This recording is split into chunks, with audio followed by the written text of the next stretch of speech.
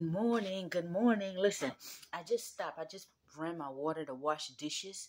Um, I, I've already finished my readings and everything for this morning, so I got up to start my day. I got my hot water to wash my dishes, and then I'm gonna go out and collect my chicken eggs and stock up all my chicken coops and stuff like that, and um, get my day started. But I was just nudged to stop what I'm doing and to share this, and so uh, what came to my spirit is a prophet without honor.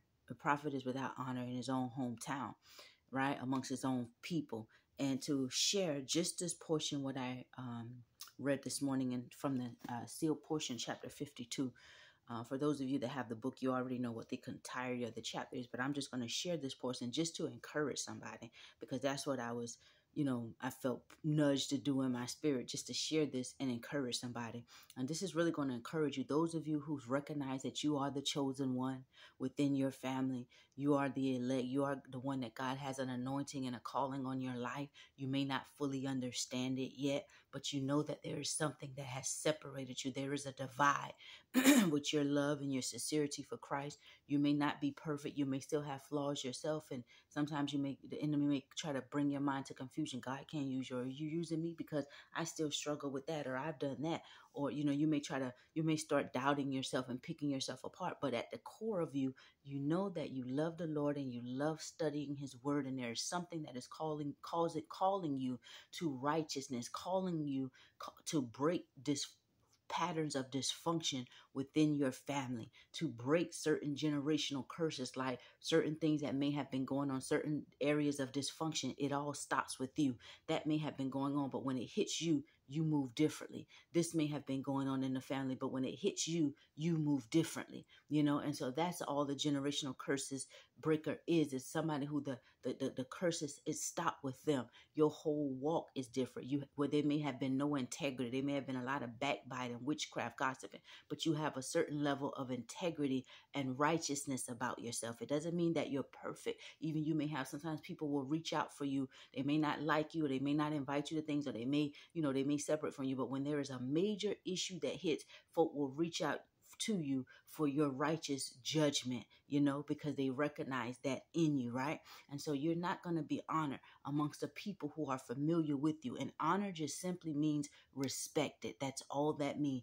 God is no respecter of persons, so nobody's bowing down to you. We should all be bowing down to God, but you deserve respect right? And you deserve love. But oftentimes, when you are making progress in your life and you are achieving certain goals, you are achieving things in life, focusing on the things and your desires that you like, oftentimes those who are in a stuck place and who are not doing anything when they cannot control you or influence you they will begin to despise you and become envious of you and you will have to flee or separate yourself or limit contact. And sometimes people will pay, play with your emotions. They will have these hot and cold behaviors with you and when you try to question them about that they may not give you a solid answer or say oh no it's, it's not you but they're doing it to you. And then they expect you to continue to tolerate that. They will keep in contact with you and then all of a sudden go cold with you. And then all of a sudden, out of the blue, just show up but go hot. That's pulling your emotions up and down. That's witchcraft. That is a form of witchcraft. It's psychological warfare, and you don't deserve that, and you don't have to tolerate that. And when you try to hold people accountable, oftentimes those who are older than you, you can come to them in the most respectful way, but being able to articulate yourself, express your feelings, and sharing how they have what what what offense you're trying to get them to acknowledge and what they've done they will try to gaslight you or sometimes they will try to call you disrespectful and so you yourself uh, over over the years sometimes you could have been manipulated by that them calling you disrespectful. So you just keep your mouth shut let them be right. They turn your right into wrong and your wrong into right they're wrong into right right? And so they're you're not disrespectful. As you continue to grow and mature in christ you'll begin to see they have a level of disrespect within their own character and they don't want to show you any type of respect. Goes back to that honor honoring God's anointed. But sometimes when you move away from them, you'll begin to see people who are often strangers in the land. They will recognize and they can discern that calling, and sometimes they will even confirm. And God will use other people to speak life into your spirit. Where so much those who've been around you have been speaking death to your spirit, death to your name. It's always something negative, and they do it in secret. And then they don't, when they're face to face with you, everything appears to be normal. But in your spirit, you already can discern the hidden things, but no one, you can't bring it up because if you do, they will try to make you look like the problem maker, the troublemaker. So you have to get around from people like that. They're going to remain in a stuck place, right? God is going to elevate you. That is not righteousness in that. I don't care if they attend church every Sunday and they can be people who profess to believe in God, but godly people have a, a certain level of righteousness and integrity about themselves. That's why Matthew 5 and 8 distinguishes the pure in heart. Blessed are the pure in heart for they shall see Christ. That is your reward, baby.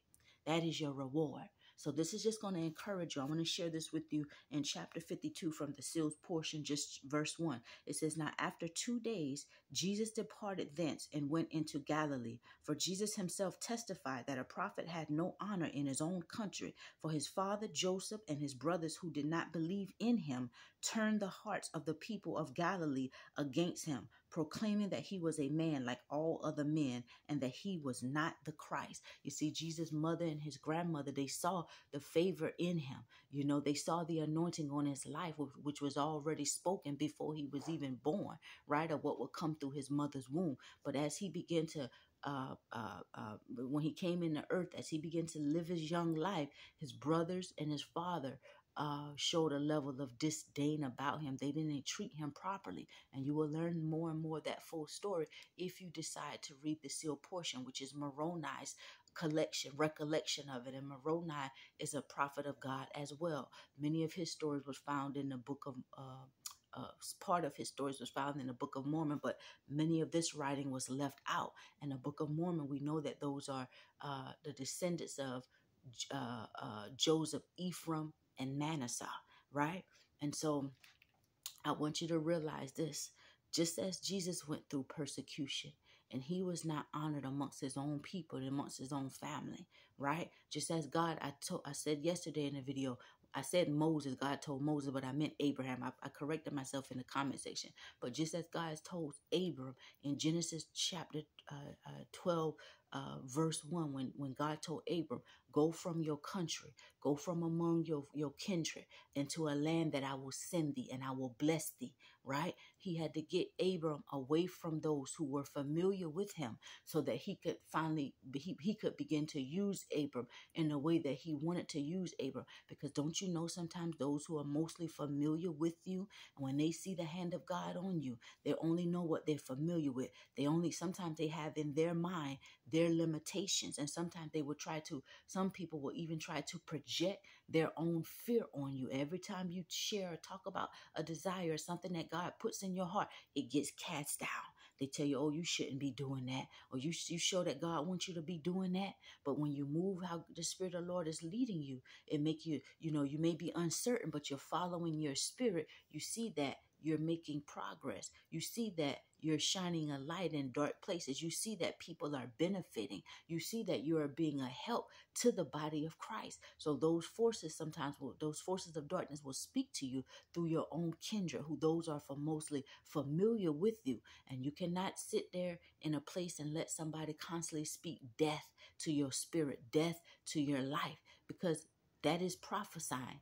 Out of the mouth comes life or death blessings or curses, and those who love it shall eat the fruit thereof. So you have to learn that your prayers are greater for you than the prophecies and prayers of anybody else. You begin to pray and combat that which you feel in the spirit. Don't always try to go and have a conversation with certain people about things that you see and that are revealed to you because they will gaslight you. And gaslighting, being gaslit, will sometimes lead you to a place of frustration because it, it, it's an it's an attempt of the enemy to throw off your discernment to make you confused about your discernment. When you learn how to move in the spirit and be more confident in what you're seeing and revealing you don't always have to confront anyone. You just move in your lane you know and you can pray and talk to God about it. God, if this is of you, because sometimes the enemy will try to confuse us as well. But you live a, a, life of prayer and fasting and talking to God about things, you'll get clarity. And sometimes it takes time. Some things are revealed over time, but I want you to be encouraged, right? Be encouraged and understand that everything that you're seeing and that's being revealed to you, God is opening your eyes to that. God is opening your eyes. The calling that He has on your life, He is going to use you. He will protect, perfect you. He will qualify you. All you got to do is keep showing up for life, studying the Word of God, stay in that Word of God. It is a lamp to our feet, but be encouraged and understand there is nothing new under the sun. Sometimes those right around you will be speaking negatively and death to your future, to your dreams, to your goals because they can't see it for themselves, right? And we know that Hebrews 11 and 1 says faith um, now the uh, Hebrews 11 and 1 says, Now faith is the substance of things hoped for, the evidence of that which is not seen, right? And in Hebrews 11 11 confirms through Sarah's faith, initially she had doubted, doubted, but when she believed and trusted in God through her faith, she, she conceived and gave birth at her late, latter age, right? And so without faith, it's impossible for us to please God. You don't have to always share everything that God is revealing it to you, especially now that He's shown you where all of a lot of those witchcraft and word curses attacks have been coming from, right? Don't let anybody gaslight you anymore. You know, you keep doing what you're doing, keep operating in your calling, keep studying. And if you don't know, you're uncertain of certain things, don't ever move ahead of God. Just keep showing up for life day by day, taking your time. Don't be anxious for anything. Let not thy heart be anxious for nothing, but through all things, just prayer and supplication. And the number one thing is to keep studying the word of God. When you, when God begin to finally shift you and he show you that place or wherever he wants to move you to and whatever he wants to do, when you are embraced and you come around people who have that same light in their spirit and they begin to just recognize you for who you are, it's going to feel like a whole, like your life has just begun. It may bring you to tears, you know. You come across people who can actually recognize you for you, who can actually honor the God on the inside of you, who can honor your good heart and appreciate a good person, a loving person. There's only those who are filled with venom and hate that can't appreciate somebody who's full of love and sincerity. They'll be willing to take from you, but they don't show you no respect. And that's what keeps taking your spirit down because you're casting pearls to swine. See, keep what God has given you for you. Use what God has given you for you. And you wait. Wait, I say, on the Lord. Wait on Him to move to, to guide your footsteps into your next move. But you're not crazy, baby and you're definitely not alone. I pray that this word has encouraged you. You're on the right path, and that's why your eyes are being opened more and more, right? The enemy is not winning, evil is not winning. We're just getting stronger. You're rising above, right? You're rising above. God is perfecting his people, right? You couldn't see what you see and feel what you feel if you weren't growing in your level of discernment. See? And the more that you grow, the less you be getting into the flesh, arguing with people.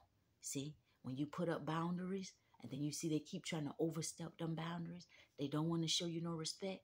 Sometimes that be the main ones who's whispering behind your back, calling you disrespectful because they don't want to respect you. See, you're not a little kid anymore. You're an adult now. Even though you may have some childlike ways, that's okay. And you have a right to nurture your inner child. You can do that. Nurture your inner child, but you're still an adult and you deserve respect. Right? God bless you. I love you. If no one has told you that this morning, then you already know your little country bumpkin sister loves you. We are the light of the world. Let's don't ever let that light grow dark, baby. Keep shining bright. And we know that the blood of Jesus, our friend, our brother, our Savior, that blood is the only blood that has power. Even he wasn't respected honored amongst his own people, right? And so think it not strange when you realize that you are the chosen one. You are the one whose God's hand is on. Even if you don't, you haven't fully identified your purpose yet. He's calling you to it. Sometimes you have to grow through it, right? You have to have these experiences. They're all necessary. And then in the end, as you continue to live and show up for life, the revelations will come as time goes by, by and by. Don't ever try to get ahead of God. You're on the right path. Just continue to take your time and keep studying the word. God bless you. I love you. Think positive, be positive. Remember, our thoughts are greater for us than the thoughts of another, right? Positive thoughts create positive feelings. And that's what Paul pretty much was saying when he said, Think on whatsoever things are pure, whatsoever things are true, whatsoever things are lovely, whatsoever things are of a good report. Think on these things. To sum all of that up, all Paul was saying was, Think positive. Have a blessed day. I love you.